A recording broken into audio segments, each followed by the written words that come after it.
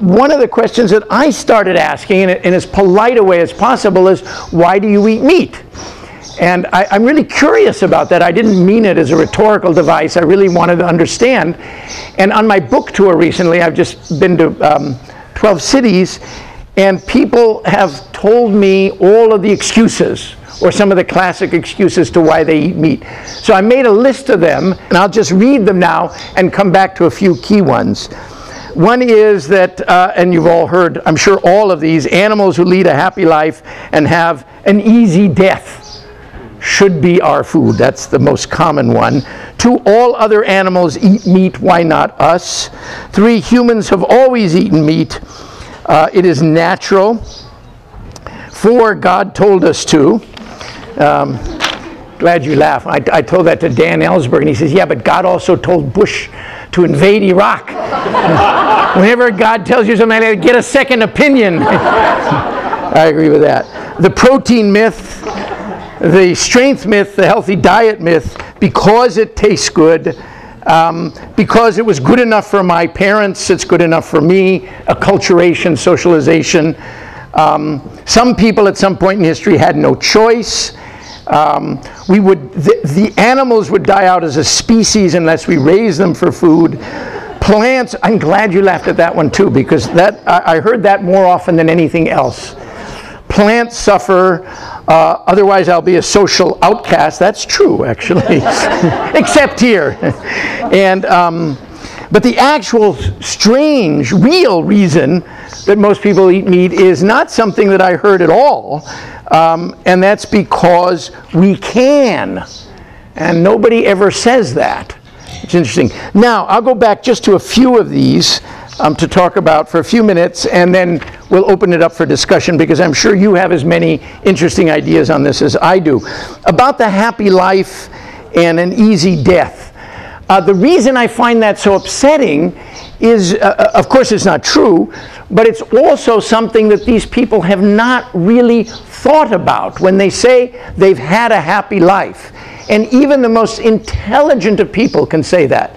Michael Pollan, for example, in The Omnivore's Dilemma, has a famous statement that sadly encouraged people who were vegetarians and vegans to go back to eating meat. He said if you visit a wonderful organic farm like the Salatin farm in the Shenandoah Valley in Virginia, and you see happy animals and you realize that of course they're happy, then you understand that when the animal rights people talk about these farms as a death camp, they are engaging in a sentimental conceit. Everybody thought, isn't that a brilliant, a brilliant insight? But it's not. It's not even an insight at all. It's not true. And it, it couldn't possibly be true because we're entitled to our sentiments about animals being killed. So, of course, these are death camps. They're not summer camps. Their parents are not waiting. Here they come. They're getting off the bus. Wait for the animals.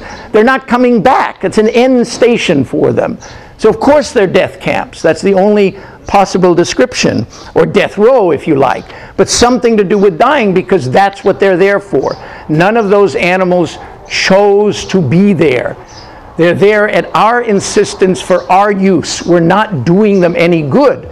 So when they talk about, and happy life, what kind of a definition of happiness is that? The, the, their lives are terminated long before their natural term, and none of these animals live the lives they intended to lead by evolution. They're supposed to be free, they're supposed to procreate, they have families, they have friendships, they have all the emotions they're capable of when they're in a natural situation. So, no domestic animal ever gets that. No domesticated animal, with a possible exception of dogs and cats, and they're probably the only two animals who may have chosen us. No other animal wanted to be there, and we were talking about informed consent. Well, these animals do not have the information and they did not consent. If they knew what was awaiting them, they would leave. And when people tell you about domesticated animals wanting to be with us, just look around and see where they're kept. They're never free. They can't go. They're in cages or corrals. And of course, that doesn't apply to here because these are rescued animals. Very different situation. But on any other farm, no matter how, quote, ideal, the purpose of the animals being there is for exploitation by humans, never for their good. So I've had people tell me, I'm a farmer and I love my animals. And I say, to what point? Up until the point where I slit their throat. Well, that's not how we use the word love in our language. And what bothered me about the omnivore's dilemma is that uh, it's telling people what they want to hear. And I do have, I have a problem with the notion of humane meat, of freedom meat as they call it.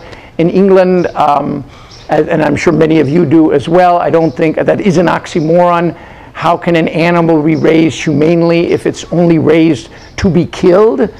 So I don't think it's fair. It gives people an excuse. And I think these books are popular because people want to do what they've always done.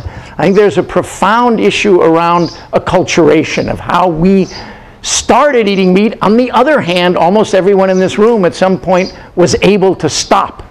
And it's an interesting question how we're able to do that. Um, I, think, I think it's fascinating. Unfortunately, mostly had cliches about how people did it. But interesting cliches. You know, there was a moment when they suddenly look at an animal and they realize, my God, you know, I'm looking into the eyes of a pig or a cow and I see something very similar to what I see in the eyes of other, of other animals, other human animals. You know, most of you have been able to do it in one field or another. You say, damn it, no, I'm not going to eat that piece of meat because I know there was suffering. Gene has a wonderful line in his new book where he says, the reason I don't drink milk and eat eggs is I don't want to participate in the suffering I've seen. I don't want to be part of that. And that's as simple as that. By the way, that's you must get that all the time. People say, what on earth is wrong with milk and eggs? Where's the suffering? Where's the harm in that? And you really have to explain it. It, it, doesn't come naturally. People don't look at it and say, oh my God, I see it. They don't have a visceral reaction, as, as often people do, to actual meat. I can't tell you how difficult it was for me to get in to the place where they keep chickens who lay eggs. They did not want me to see what goes on there. Even a salmon farm. I could not see a salmon farm. I called 20 of them in New Zealand. They said, absolutely not. They don't want you to know that the animals are suffering because then you're going to think twice or three times before eating them. You're going to wonder about it and say, well, should I be eating this? And it's going to stay in the back of your mind. I remember 30 years ago here in California, Cesar Chavez was talking, and I proudly walked up and said, no, I'm a vegetarian too. He said, Do you eat uh, eggs and drink milk? I said, Sure. He said, Well, you're causing more suffering by doing that. And I was shocked. I'd never heard this. Then people swooped in. I never got to ask him why. It took him years and years to discover. Because the reason he said that is because when he went to see the farm workers, he saw the conditions of the animals. And he was able to make that connection. That was so wonderful, you know, that he could see well, they're treating the farm workers badly and they're treating the animals badly. And it figures. Why wouldn't they? Of course. And what do you know what the uh, rate of people leaving slaughterhouses is in the year? That's right, 100%. They don't want to work there. They're abused, the animals are abused, they're, they're, it's a horrible life for everybody involved, and that's why it's so hard to see them. They don't want you to see it. So thank you for that. You're absolutely correct.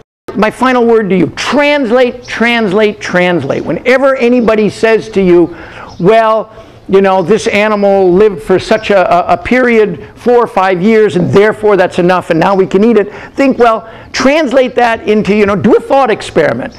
Would I be willing to give Ilan to somebody who's going to have the best education in the world and the best life for the first six years and then off to the slaughterhouse? I mean, we really need to do this all the time. Think about our dogs, our cats, our friends, our people, our children.